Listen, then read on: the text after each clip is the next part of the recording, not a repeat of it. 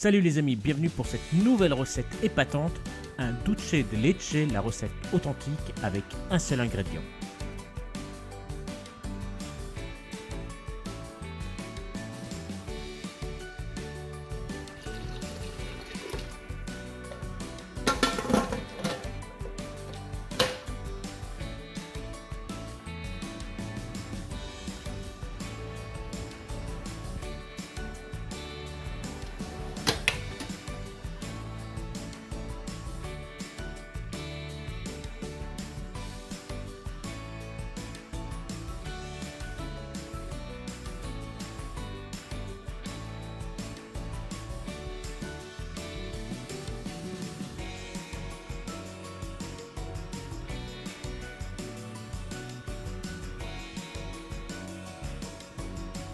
A très vite pour de nouvelles recettes.